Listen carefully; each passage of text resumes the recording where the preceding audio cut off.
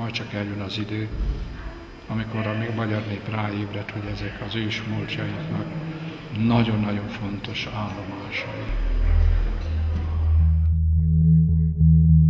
Hiszem Isten, hogy az ő szolgáját énekesse megjelenti, kit megígért.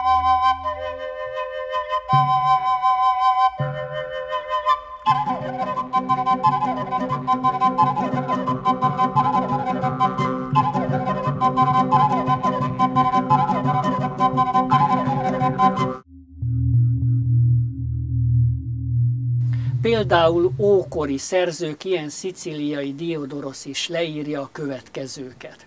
A szkítáknak az első királya, ez maga Szkűtész. Ennek a Szkűtésznek van két fia. Dicső tetteket vittek véghez, és a királyi hatalmat megosztva népeiket nevükről részint pálosoknak, részint naposoknak hívták. Ez a szolgálat Pallil, a pálok Ilona tisztelete.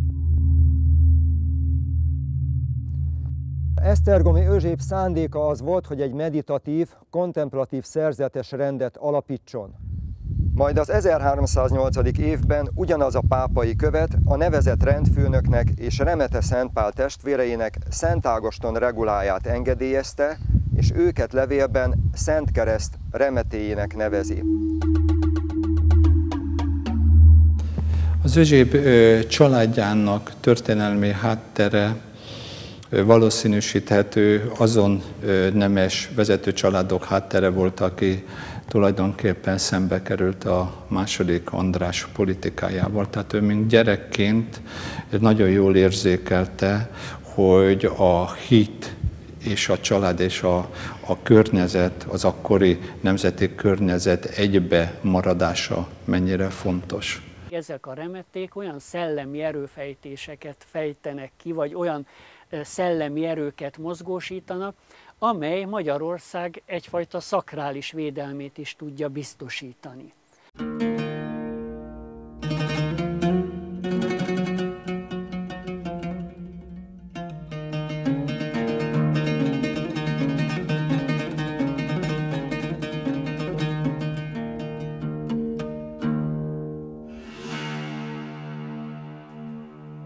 Remete Szentpál, Magyarország védőszentje, boldogságos Szent Szűz mellett. A pálos renden belül boldogasszonyunk tisztelete az középponti helyen állt.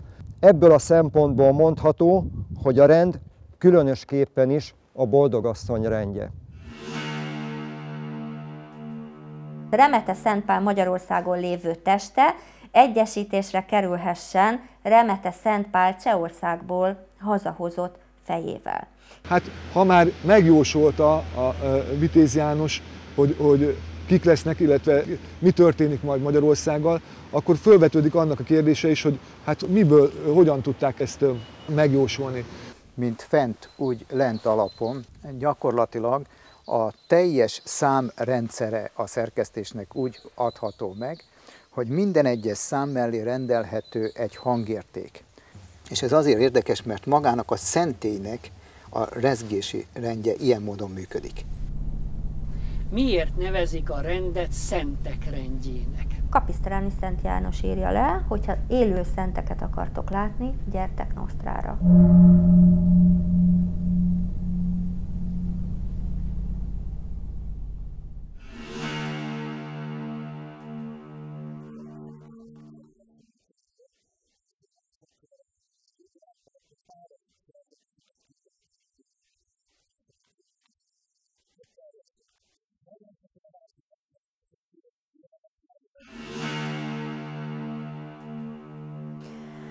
A Magyar Királyság bíborosát orgyilkosok gyilkolják meg. Ettől kezdve a Magyar Királyság élete az egy élethalálharc. Pontosan tudták, hogyha a pálosokat kiiktatják, akkor talán a magyarság is erősebb hanyatlásnak indul.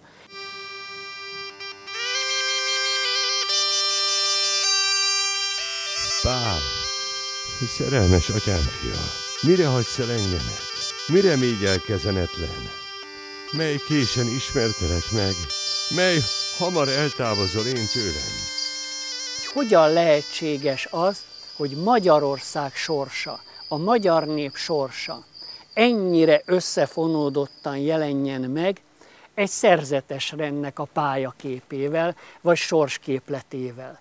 Bármennyire is úgy tűnik, hogy a magyarságot kiirtották, a független magyar állami létet a Habsburgoknak soha nem sikerült megtörniük.